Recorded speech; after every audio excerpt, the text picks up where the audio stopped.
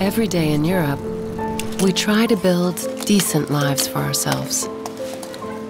We try to make ends meet. Working day and night, or taking endless unpaid internships.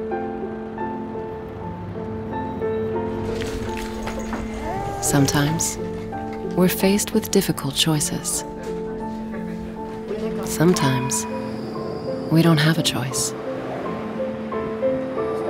Some of us had a job, but can't afford the weekly shop anymore. And we always need to be faster.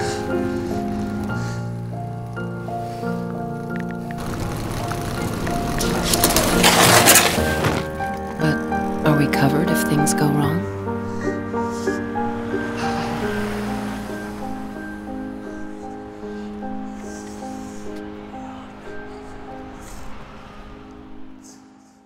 Could things be different?